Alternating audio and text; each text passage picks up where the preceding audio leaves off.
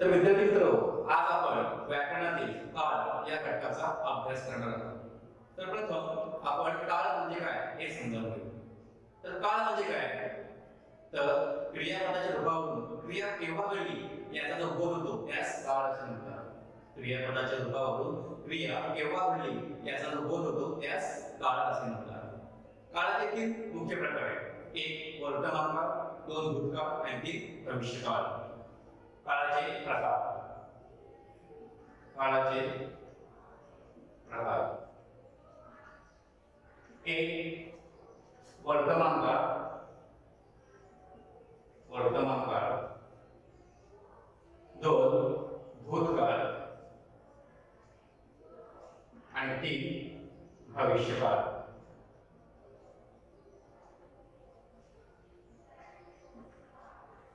तर काळाचे हे तीन मुख्य प्रकार आहेत तर प्रथम आपण वर्तमान काळ म्हणजे काय ते समजावून घेऊ बघा वर्तमान काळ आता वर्तमान काळ म्हणजे काय तर क्रियापदाच्या रूपावरून क्रियापदाच्या रूपावरून क्रिया आता घडते असे समजते. तेव्हा त्यास वर्तमानपद असे म्हणतात. क्रियापदाचे उद्भव क्रिया आता घडते असे जेव्हा समजते तेव्हा त्यास वर्तमान काळ असे म्हणतात. उदाहरण बघा. उदाहरणार्थ सुदेश सुदेश निबंध लिहितो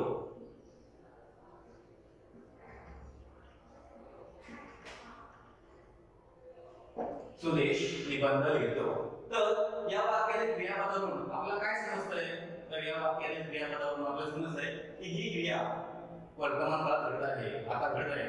म्हणून या वाक्याचा काळ कोणता आहे तर वर्तमान काळ तर आता आपण वर्तमान काळाचे जे उपप्रकार आहेत प्रथम आपण साधा वर्तमान काळ म्हणजे काय ते पाहूया.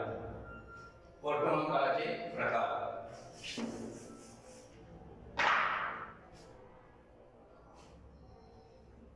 वर्तमान काळाचे प्रकार.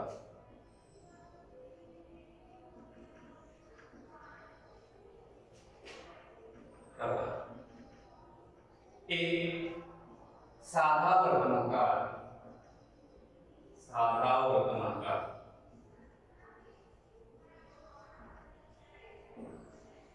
तर साधा वर्तमान काळ म्हणजे काय? तर क्रियापदाच्या रूपावरून क्रिया वर्तमान काळात हे समजते. परंतु ती क्रिया वर्तमान काळात अपूर्ण आहे की पूर्ण आहे हे समजत नाही. तेव्हा त्यास चांगला वर्तमान काळ असे म्हणतात. क्रियापदाच्या रूपावरून क्रिया वर्तमान काळात घडते असे समजते. परंतु ही क्रिया वर्तमान काळात अपूर्ण आहे की पूर्ण आहे हे समजत नाही. तेव्हा त्यास चांगला वर्तमान काळ असे म्हणतात. आता उदाहरण बघूया.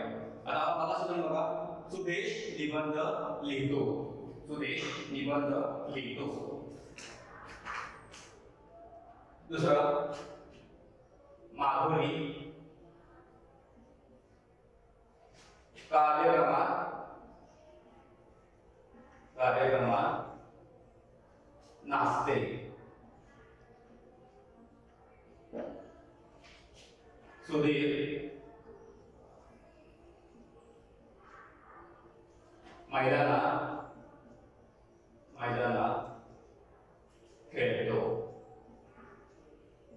सुधीर मैदानात खेळतो तर ही तिन्ही वाक्य पाहिल्यानंतर आपल्याला काय कळतंय तर या तिन्ही वाक्यातील क्रियापदातून आपल्याला समजतंय की ही क्रिया वर्तमान काळात घडते. परंतु ती वर्तमान काळातील क्रिया अपूर्ण आहे की पूर्ण आहे हे समजत नाही. म्हणून या तिन्ही वाक्याचा काळ कोणता आहे? तर साधा वर्तमान काळ आहे. सुदेश निबंध लिहितो माधुरी कार्यक्रमात नाचते सुधीर मैदानात खेळतो. या तिन्ही वाक्याचा काळ कोणता आहे? तर साधा वर्तमान काळ. यानंतर आपण पुढचा प्रकार पाहूया अपूर्ण वर्तमान काळ. दुसरा अपूर्ण वर्तमान काळ. अपूर्ण वर्तमान काळ. तर अपूर्ण वर्तमान काळ म्हणजे काय? तर क्रियापदाच्या रूपावरून वर्तमान काळात एखादी क्रिया अपूर्ण किंवा चालू असल्यास त्यास अपूर्ण वर्तमान काळ असे म्हणतात. क्रियापदाच्या रूपावरून वर्तमान काळात एखादी क्रिया चालू किंवा अपूर्ण असल्यास त्यास अपूर्ण वर्तमानकाळ असे म्हणतात. आता आपण उदाहरण बघूया. बघा. उदाहरणार्थ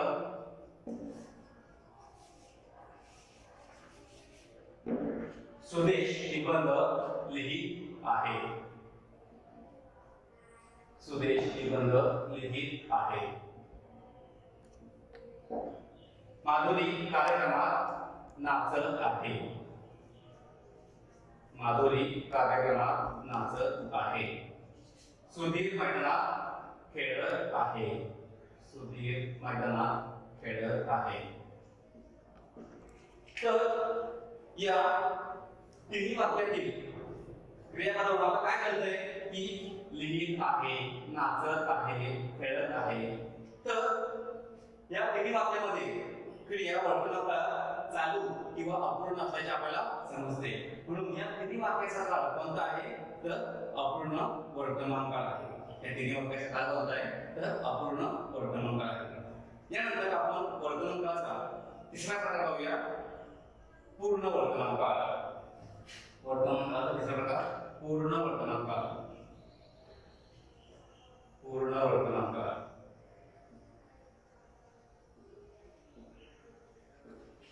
तर पूर्ण वर्तमानकाळ म्हणजे काय? तर क्रियापदाच्या रूपावरून वर्तमान काळात एखादी क्रिया नुकतीच पूर्ण झालेली असेल क्रियापदाच्या रूपावरून वर्तमान काळात एखादी क्रिया नुकतीच पूर्ण झालेली असेल तर त्यास पूर्ण वर्तमान काळ असे म्हणतात. आता उदाहरणार्थ पाहूया. उदाहरणार्थ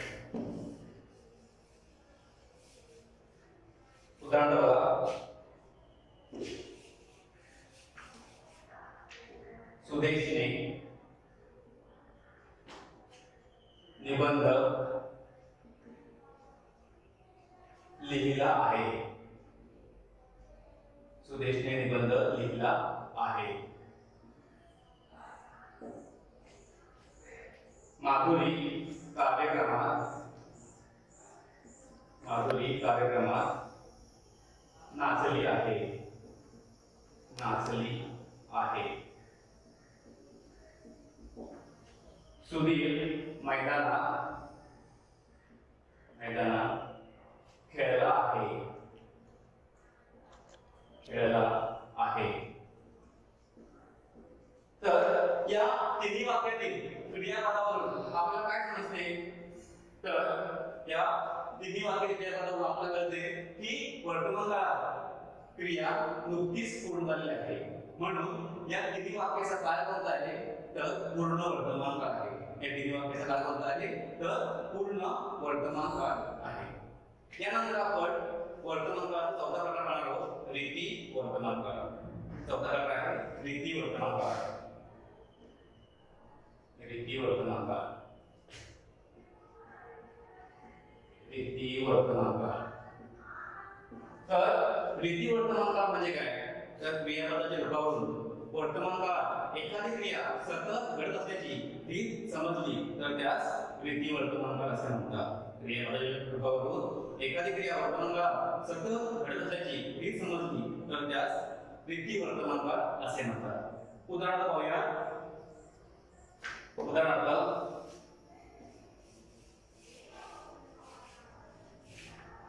सुदेश निबंध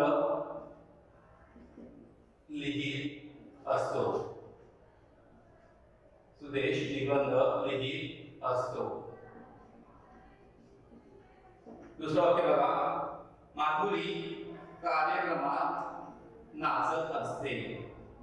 माधुरी कार्यक्रमात नाचत असते.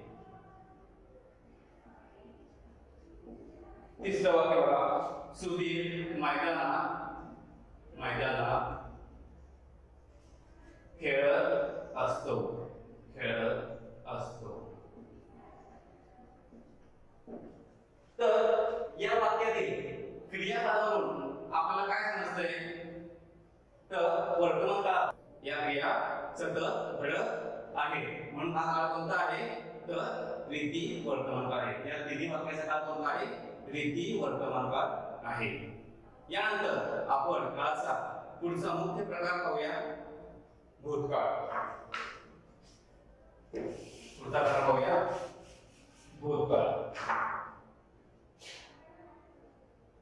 भूतकाळ.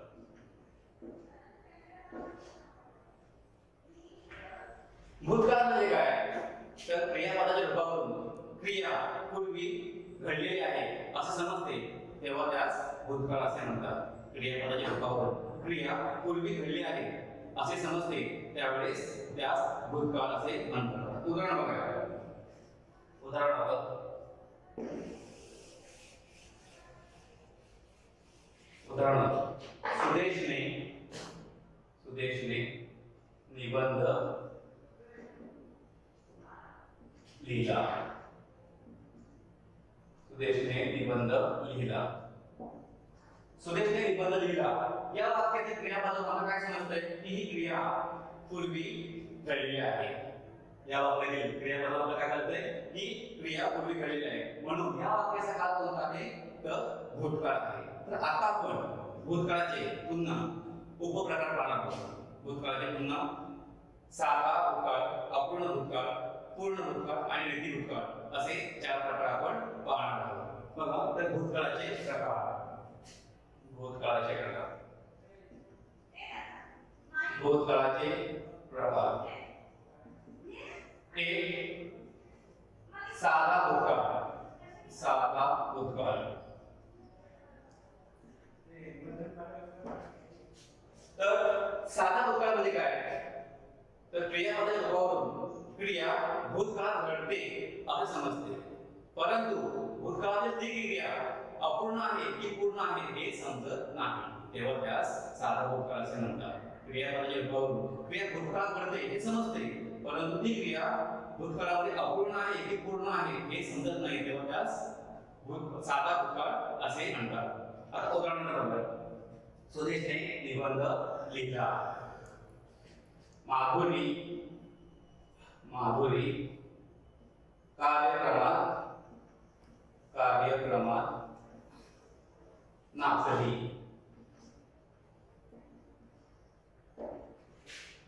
सुधीर मैदानात मैदानात खेळला. या तिन्ही वाक्यातील क्रियापदावरून आपल्याला काय कळतंय? की ही क्रिया पूर्वी घडलेली आहे. परंतु या तिन्ही वाक्यावरून जी क्रिया अपूर्ण आहे भूतकाळामध्ये ही पूर्ण आहे हे समजत नाही. म्हणून त्यास काय म्हणतात? तर साधा भूतकाळ असे म्हणतात. म्हणून या तिन्ही वाक्याचा काळ कोणता आहे? तर साधा भूतकाळ आहे. यानंतर आपण पुढचा प्रकार पाहणार आहोत अपूर्ण भूतकाळ. पुढचा प्रकार आहे अपूर्ण भूतकाळ. अपूर्ण भूतकाळ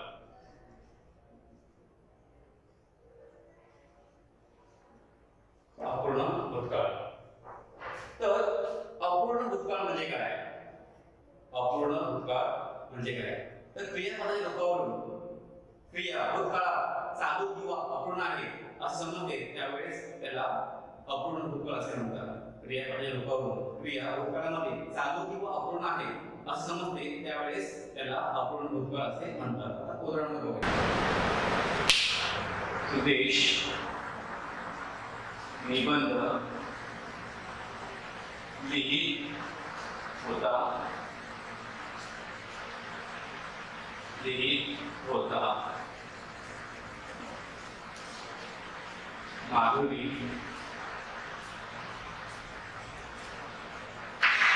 माधुरी कार्यक्रमात नाचत होती नाचत होती सुधीर मैदानात मैदानात खेळत होता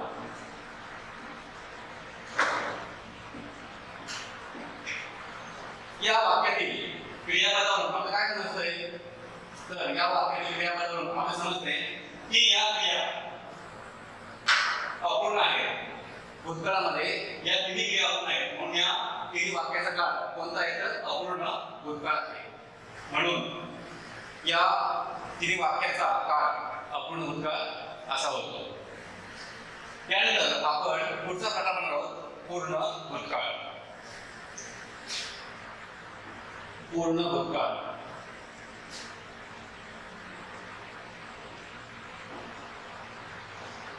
आता पूर्ण भूतकाळ म्हणजे काय?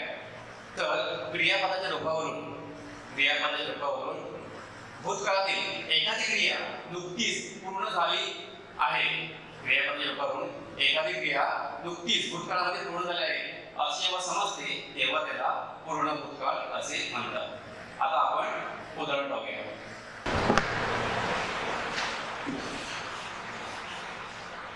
सुदेशने निबंध लिहिला होता. सुदेशने निबंध लिहिला होता. सुदेशने निबंध लिहिला होता. माधुरी कार्यक्रमात नाचली होती. माधुरी कार्यक्रमात नाचली होती. तिसरं वाक्य बघा. सुधीर मैदानात खेळला होता. सुधीर मैदानात खेळला होता. तर या तिन्ही वाक्यातील क्रियापदावरून आपल्याला काय समजतंय? की क्रिया भूतकाळामध्ये नुकतीच पूर्ण झालेल्या आहे म्हणून या तिन्ही वाक्याचा काळ कोणता आहे? तर पूर्ण भूतकाळ आहे. या तिन्ही वाक्याचा काळ कोणता आहे? पूर्ण भूतकाळ. तर यानंतर आपण पाहणार आहोत रीती भूतकाळ. भूतकाळाचा चौथा प्रकार रीती भूतकाळ. रीती भूतकाळ रीती भूतकाळ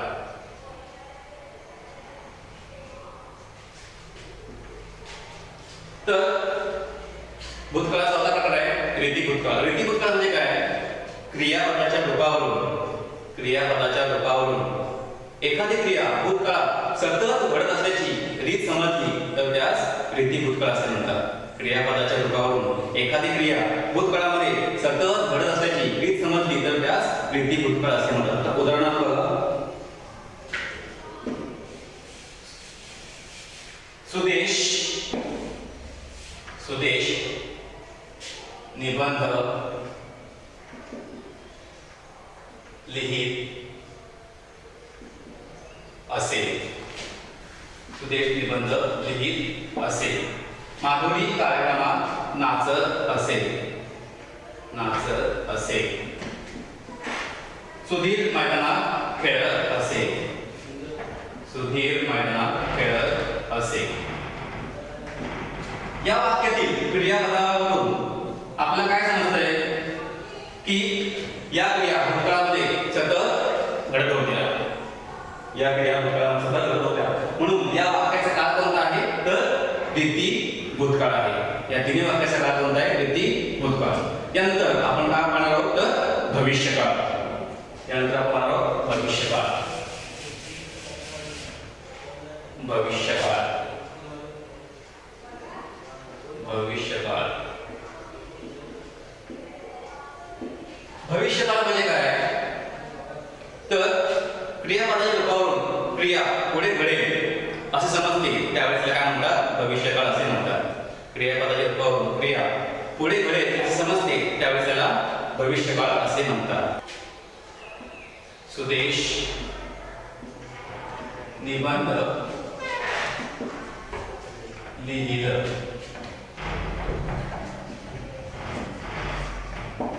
सुदेश निबंध लिहिल या वाक्यातील म्हणून आपल्याला काय समजतं?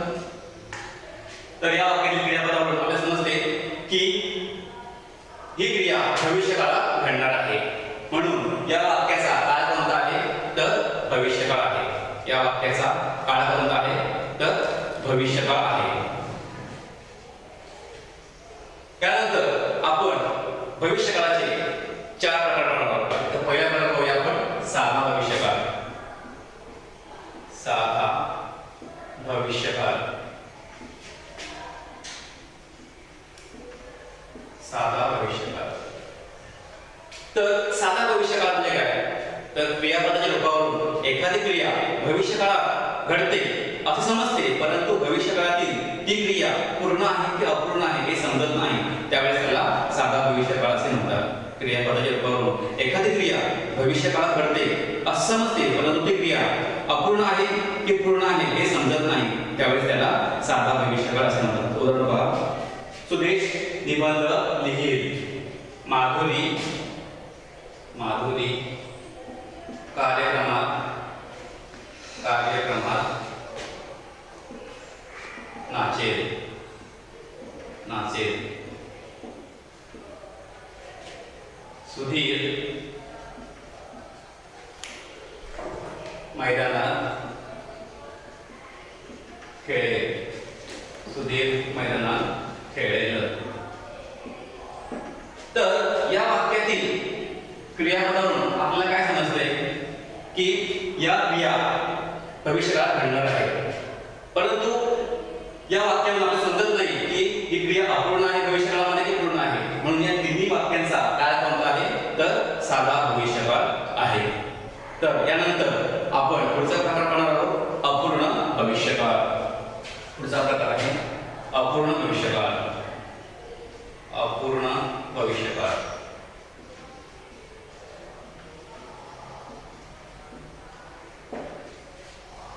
तर अपूर्ण भविष्यकाळ म्हणजे काय तर क्रियापदाच्या रूपावरून एखादी क्रिया भविष्यकाळात चालू किंवा अपूर्ण असल्यास त्याला अपूर्ण भविष्यकाळ असे म्हणतात. क्रियापदाच्या रूपावरून एखादी क्रिया भविष्यकाळात चालू किंवा अपूर्ण असल्यास त्यास अपूर्ण भविष्यकाळ असे म्हणतात. आता उदाहरण बघा.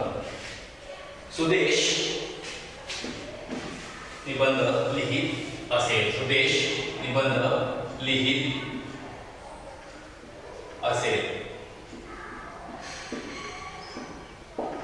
माधुरी कार्यक्रमात नाचत असेल नाचत असेल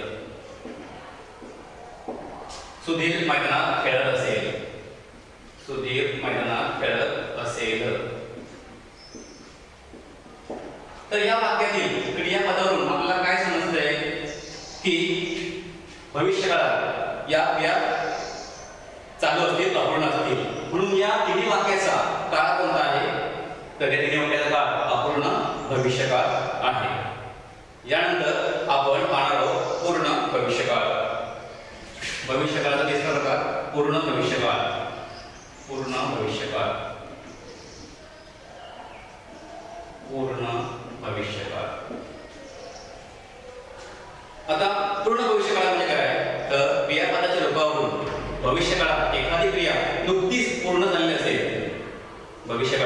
एखादी क्रिया नुकतीच पूर्ण पूर्ण भविष्यकाळ असे उदाहरणार्थ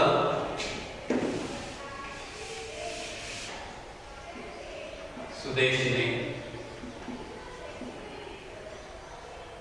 निबंध, लिहिला असेल. लिहिला असेल.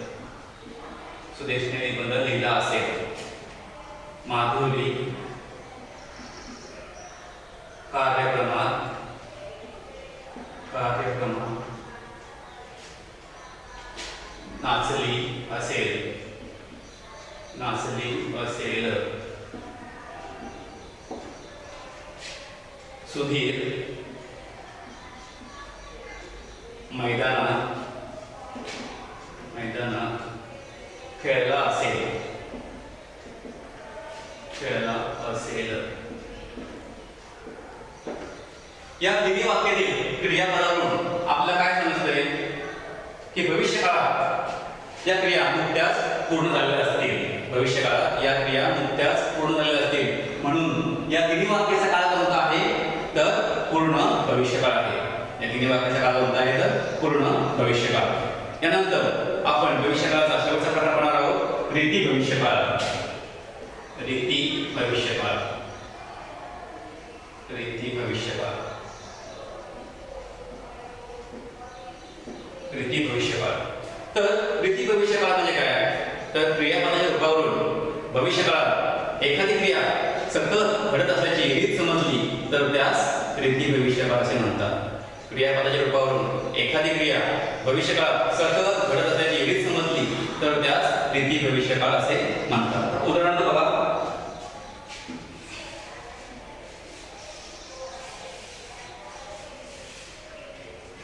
उदाहरणार्थ सुदेश निबंध. निबंध लिहित जाईल. सुदेश निबंध लिहित जाईल. सुदेश निबंध लिहित जाईल. माधुरी कार्यक्रमात नाचत जाईल. नाचत जाईल. सुधीर मैदानात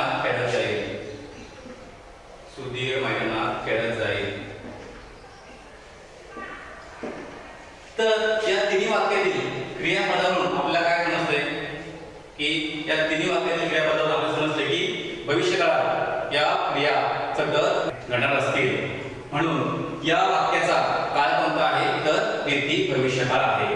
या तिन्ही वाक्यांचा काय होत आहे तर दीर्घिक भविष्यकाळ आहे. तर अशा प्रकारे